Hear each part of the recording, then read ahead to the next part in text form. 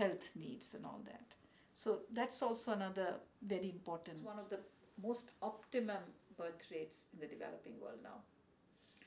And um, the LDCs actually had made quite good progress on the SDGs attainment until COVID came.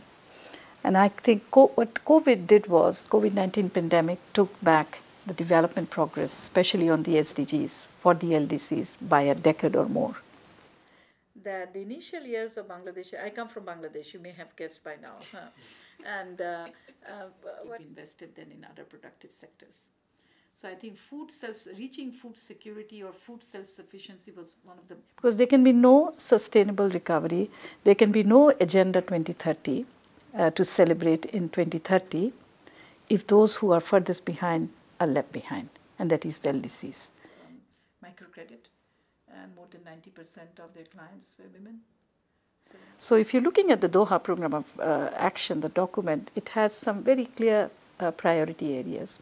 And those priority areas are all sort of geared towards developing the capacity of the LDCs themselves so that the aid uh, dependence can be reduced.